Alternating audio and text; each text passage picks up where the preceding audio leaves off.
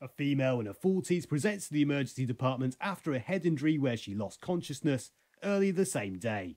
She gets assessed and then goes on to have a non contrast CT of her head, which we have here. What's the diagnosis? Let's go through the case. We can see there is a focus of high density here on the right side. Any high density on an acute CT head needs to be treated with suspicion for acute hemorrhage. When we look at this a little more closely, we can see it is a little heterogeneous and there may even be flecks of calcification within this.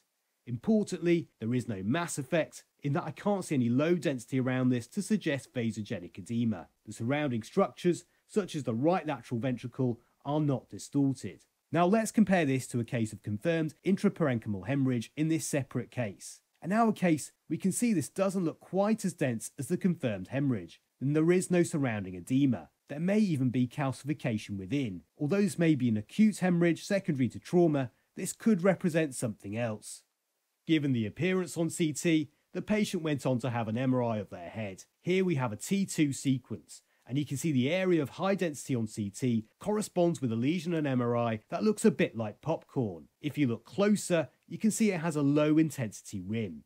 On the T1 sequence, we can see some high signal, and once we give gadolinium contrast, there isn't much change in appearance between the pre and post contrast images, so we can say there is no enhancement. Now this popcorn appearance and the low intensity rim are suggestive of a cerebral cavernous venous malformation, also known as a cavernoma or a cavernous malformation.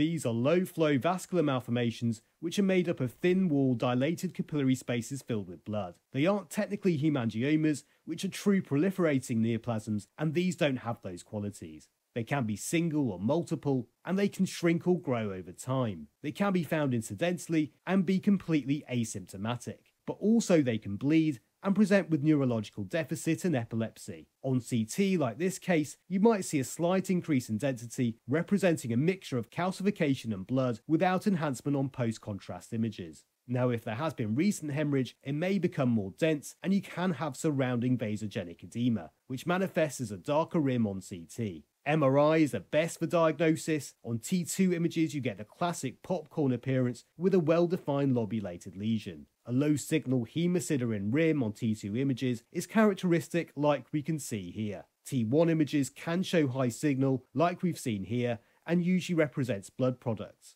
Post-contrast images usually show no enhancement, but you can find something called a developmental venous anomaly, or DVA, which manifests as several veins draining into a larger vein. Now this isn't usually harmful, but is associated with cavernous malformations and lends weight to the diagnosis. Gradient echo and susceptibility weighted images are most sensitive, especially for smaller lesions, and you can see the characteristic blooming artifact which shows as low signal. When found incidentally, usually these are followed up and managed conservatively. They can, however, be resected in patients who develop recurrent hemorrhage, new neurological deficit, or refractory epilepsy. The lesson here is really to be aware of this diagnosis.